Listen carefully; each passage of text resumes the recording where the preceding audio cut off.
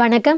இன்றைய செய்திகள் வாசிப்பது உங்கள் பிரம்மாகுமாரி தேவி பிரியா. தலைப்புச் செய்திகள். குஜராத் மாநில சூரத் நகரிலிருந்து டில்லி வரை நடந்த பகத்சிங் நினைவு சைக்கிள் யாத்திரை பிரம்மாகுமாரிகளின் தலைமை நிலையமான சாந்திவனத்தை கடந்து செல்லும் போது அனைவருக்கும் ஊக்கமளிக்கப்பட்டது. டில்லி நகரின் பிதம்புரா சேவை நிலையத்தின் முப்பதாவது ஆண்டு விழாவை முன்னிட்டு தியான முகாம் ஏற்பாடு. ஸ்ரீமத் பகவத்கீதையின் அற்புத ரகசியம் பற்றிய விளக்கம். இதய நோயாளிகளுக்கு ராஜயோக தியானமே சிறந்த வழி நிவாரணி. கர்னல் நகர பிரம்மா குமாரிகளின் மருத்துவ முகாமில் மூத்த இருதயவியல் மருத்துவர்களின் ஆலோசனைகள். மகாராஷ்டிரா பிரம்மா குமாரிகளின் புதிய திவ்யஜோதி பவனம் இயக்கத்தின் இணை தலைவி தாதி ரத்தன்மோகினி அவர்களால் திறந்து வைக்கப்பட்டது.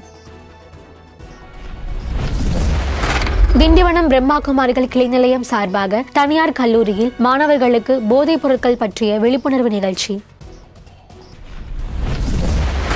ஈரோட்டில் சிவஜெயந்தி விழாவை முன்னிட்டு சிவலிங்க அலங்கார தரிசன கண்காட்சி.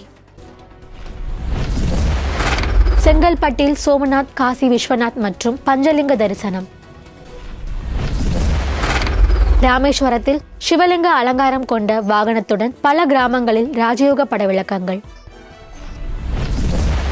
விரிவான செய்திகள். குஜராத் மாநில சூரத் நகரிலிருந்து டில்லி வரை நடந்த பகத்சிங் நினைவு சைக்கிள் யாத்திரை பிரம்மா குமாரிகளின் தலைமை நிலையமான சாந்திவனம் வந்து சேர்ந்தது. இத்தருணத்தில் சமூக செயல்பாட்டு குழுவின் தலைவர் பி கே பரத் அவர்களை வாழ்த்தி பேசும்போது பகத்சிங்கை போன்ற சிந்தனைகளை இளைஞர்கள் உள்ளத்தில் உருவாக்க வேண்டும் என்றார். இயக்கத்தின் பிஆர்ஓ பி கே கோமல் அவர்கள் சமூகத்தின் நற்பண்புகளை உருவாக்க வேண்டும் என்பதை வலியுறுத்தினார். பிறகு சைக்கிள் யாத்திரை குழுவின் கன்வீனர் ஜிக்னேஷ் கல்வாடியா பிரம்மா குமார்கள் இயக்கம் தங்களை வரவேற்று கருத்துக்களை பகிர்ந்து கொள்ள வாய்ப்பளித்தமைக்கு நன்றி தெரிவித்தார். P K Banu P K மோகன் மற்றும் பல ஆன்மீக சகோதர சகோதரிகள் கலந்து கொண்டனர். பின்னர் சைக்கிள் யாத்திரை குழு சிரோகி நகரை நோக்கி தங்கள் பயணத்தை தொடர கொடி காட்டி வழி அனுப்பி வைக்கப்பட்டது. இந்த பயணம் டில்லியில் முடிவடையும் போது ஆயிரத்தி எண்ணூறு கிலோமீட்டர் தூரத்தை கடந்திருக்கும் என்பது குறிப்பிடத்தக்கது. வாழ்வது ஒரு கலை. அதை கற்றுக்கொண்டவர்கள் எந்த சூழ்நிலையிலும் அமைதியையும் சுகத்தையும் அனுபவம் செய்வார்கள்.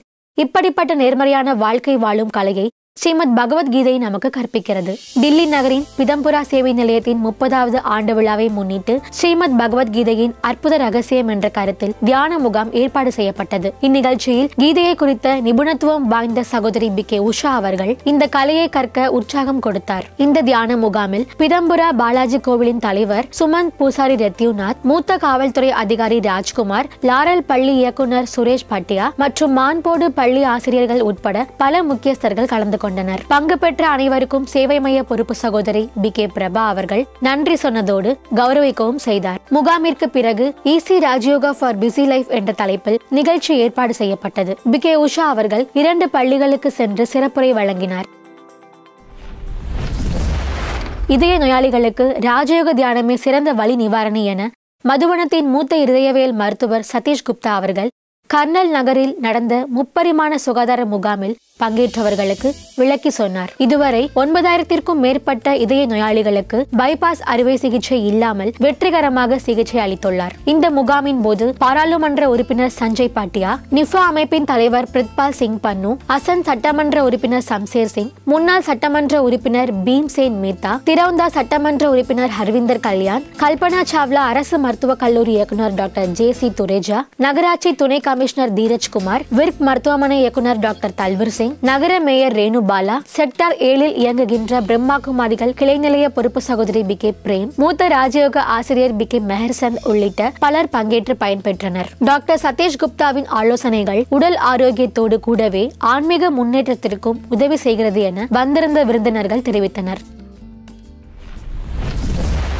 மகாராஷ்டிராவில் உள்ள தேவநகரம் எனப்படும் பிம்பரி நகரில் பிரம்மா குமார்களின் புதிய திவ்யஜோதி பவனம் கட்டப்பட்டது. அதை இயக்கத்தின் இணை தலைவி தாதி ரத்தன் மோகினி அவர்கள் தனது திரு கரங்களால் திறந்து வைத்தார். இது புதிய பவனத்தின் திறப்பு விழா மட்டும் அல்லாமல் பிம்பரி தியான மையத்தின் வெள்ளி விழாவாகவும் கொண்டாடப்பட்டது. இவ்விழாவை முன்னிட்டு பாலாஜி வளாகத்தில் நிகழ்ச்சி ஏற்பாடு செய்யப்பட்டது. அப்போது தாதிஜி அவர்கள் மிக சிறப்பாக கௌரவிக்கப்பட்டார்கள். சேவை நிலைய பொறுப்பு சகோதரி பி கே சுரேகா மற்றும் குவார்டர் கேட் துணை மண்டல பொறுப்பு சகோதரி பி கே பாரு ஆகியோர் பங்கேற்றனர். உளமாற இந்த ஆன்மீக ஞானத்தை சிந்தனை செய்து நமக்குள் பகிர்ந்து கொள்வதோடு அதிகாலையில் இருந்து இறைவனை நினைவு செய்வதால் அவரிடமிருந்து மகிழ்ச்சி மற்றும் சக்தி இரண்டும் கிடைக்கிறது என்று தாதிஜி அவர்கள் பெரும் சபையில் இருந்த அனைவருக்கும் கூறினார். பின்னர் சட்டமன்ற உறுப்பினர் ஜெகதாப் உள்ளிட்ட பல விருந்தினர்கள் தங்கள் கருத்துக்களை மக்களுக்கு வழங்கினார்கள். இந்த மகிழ்ச்சியான சந்தர்ப்பத்தில் சேவாஞ்சலி என்று பெயரிடப்பட்ட சஞ்சிகை தாதியின் புனித கைகளால் வெளியிடப்பட்டது. மேலும் பிம்பரி மாநகராட்சி அதன் மிக உயர்ந்த கௌரவத்தை தாதிஜி அவர்களுக்கு வழங்கியது. மேயர் மைத்தோர் மற்றும் சட்டமன்ற உறுப்பினர் லக்ஷ்மண் ஜெகதாப் ஆகியோர் தாதாஜி அவர்களை கௌரவித்து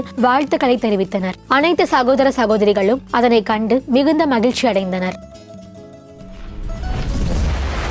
திண்டிவனம் பிரம்மாகுமாரிகள் கிளை நிலையம் சார்பாக எனது தமிழ்நாடு போதையற்ற தமிழ்நாடு என்ற தலைப்பில் மாணவர்களுக்கு போதைப் பொருட்கள் பற்றிய விழிப்புணர்வு நிகழ்ச்சியினை தனியார் கல்லூரியில் ஏற்பாடு செய்தனர். தமிழக அரசு பிரம்மாகுமாரிகளுக்கு இந்த விழிப்புணர்வை அனைத்து கல்லூரிகளிலும் ஏற்படுத்த அதிகாரப்பூர்வ அனுமதியினை அளித்துள்ளது. இதில் சிறப்பு விருந்தினர்களாக திண்டிவனம் தனைசார் ஆட்சியர் டாக்டர் அனு ஐஏஎஸ் திண்டிவனம் அனைத்து காவல் நிலையத்தின் மேலாளர் திருமதி விஜய் மேலும் சமூக நல சேவகர் திரு ஐயப்பன் மற்றும் ஈரோடு மாவட்ட பிரம்மா குமாரிகள் பொறுப்பு சகோதரர் பி கே ரவி ஆகியோர் கலந்து கொண்டனர். திண்டிவனம் தனைசார் ஆட்சியர் டாக்டர் அனு ஐஏஎஸ் புகையிலையின் பாதிப்புகள் பற்றியும் அதனால் ஏற்படும் விளைவுகள் பற்றியும் எடுத்துரைத்தார். மேலும் தீய நண்பர்களிடமிருந்து மாணவர்கள் தங்களை பாதுகாத்துக் கொள்ள வேண்டும் என்று அறிவுரை வழங்கினார். திருமதி விஜய் தனது உரையில் இந்த காலத்தில் மாணவர்கள் வாட்ஸ்அப் ஃபேஸ்புக் யூடியூப் இன்டர்நெட் போன்றவைகளுக்கு அடிமையாக உள்ளனர். இதனால் பல குற்ற சம்பவங்கள் நடக்கின்றன. ஆகையால் முன்பின் தெரியாதவர்களிடம் பழக வேண்டாம் என்று எச்சரிக்கை வழங்கினார். சகோதரர் பி கே ரவி தனது உரையில் மாணவர்கள் தங்களை அனைத்து அடிமைத்தனத்திலிருந்து பாதுகாத்துக் கொள்ள தியானம் கற்க வேண்டியது அவசியமாக இருக்கிறது என்று கூறினார். கூறினார்.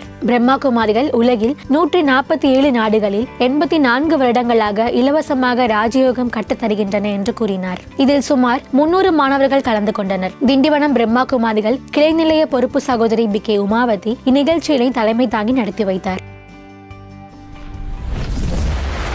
ஈரோட்டில் சிவஜெயந்தி விழா மிக சிறப்பாக கொண்டாடப்பட்டது. சிவஜெயந்தி விழாவை முன்னிட்டு ஈரோடு பிரம்மாகுமாரிகள் சகோதர சகோதரிகள் ஈரோடு செங்குந்தர் மஹால் மற்றும் கோபிச்செட்டிப்பாளையம் அப்புச்சிமார் மடத்தில் மூன்று விதமான சிவலிங்கங்கள் அமைத்து கண்காட்சியினை ஏற்பாடு செய்தனர். இந்நிகழ்ச்சியில் முக்கிய விருந்தினர்களாக தமிழ்நாடு மருத்துவத்துறையின் செயலாளர் doctor C K Saraswathi Thangam மருத்துவமனையின் செயலாளர் டாக்டர் தங்கம் கொங்கு மஹாலின் பொதுச் செயலாளர் திரு சின்னசாமி ஆகியோர் கலந்து கொண்டனர். முக்கிய விருந்தினர்கள் அனைவரும் திருவிளக்கினை ஏற்றி நிகழ்ச்சியை தொடங்கி வைத்தனர். நிகழ்ச்சியில் கலந்து கொண்ட ஒவ்வொருவரும் சிவ ஜெயந்தியை பற்றி விளக்கம் அளித்தனர் மேலும் பிரம்மாகுமாரிகள் சகோதர சகோதரிகள் பொதுமக்கள் அனைவருக்கும் ராஜயோக பட விளக்கங்களை அளித்தனர். சுமார் இரண்டாயிரம் பொதுமக்கள் கலந்து கொண்டு பயன்பெற்றனர். செங்கல்பட்டில் சிவஜெயந்தி விழாவை முன்னிட்டு செங்கல்பட்டு திருக்கலக்குன்றம் ராஜம் மஹாலில் சோமநாத் காசி விஸ்வநாத் மற்றும் பஞ்சலிங்க தரிசனம் போன்ற கண்காட்சிகள் நடைபெற்றது. இந்நிகழ்ச்சியில் முக்கிய விருந்தினர்களாக அரசு மருத்துவக் கல்லூரி மற்றும் மருத்துவமனையின் முதல்வர் திரு பாலாஜி அகத்திய கிருபா அன்பு செழியன் மற்றும் லயன் டி கே சண்முகசுந்தரம் ஆகியோர் கலந்து கொண்டு திருவிளக்கினை ஏற்றி நிகழ்ச்சியை தொடங்கி வைத்தனர். இதில் ஐயாயிரத்திற்கும் மேற்பட்ட பொதுமக்கள் கலந்து கொண்டு பயனடைந்தனர். சிறப்பு நிகழ்ச்சியாக தேவிகளின் தத்ரூப காட்சிகள் மற்றும் கலை நிகழ்ச்சிகள் நடைபெற்றது. ராமேஸ்வரத்தில் சிவஜெயந்தி விழாவை முன்னிட்டு கிராமங்களுக்கு ராஜயோக வகுப்புகள் வழங்கப்பட்டது. ராமேஸ்வரம் பிரம்மாகுமாரிகள் சகோதர சகோதரிகள் சிவலிங்க அலங்காரம் கொண்ட வாகனத்தை ஏற்பாடு செய்தனர். அலங்கரிக்கப்பட்ட சிவலிங்க வாகனத்தை ராமேஸ்வரம் சுற்றியுள்ள சுமார் ஆறு கிராமங்களுக்கு எடுத்து சென்றனர். கிராம மக்கள் அனைவரும் ஆர்வத்துடன் சிவலிங்கத்தை தரிசித்தனர். தரிசித்து செல்லும் அனைவருக்கும் ராமேஸ்வர பொறுப்பு சகோதரி பி. கே. ராதிகா சிவராத்திரியின் ஆன்மீக விளக்கத்தை எடுத்துரைத்ததோடு ராஜயோக படவிளக்கங்களையும் வழங்கினார். இதில் இரண்டாயிரத்திற்கும் மேற்பட்ட பொதுமக்கள் பயனடைந்தனர். இன்றைய செய்திகள் இத்துடன் நிறைவு பெறுகிறது. மீண்டும் சுவாரஸ்யமான செய்திகளோடு உங்களை சந்திக்கும் வரை நன்றி கூறி விடைபெறுகின்றேன். வணக்கம் ஓம் சாந்தி.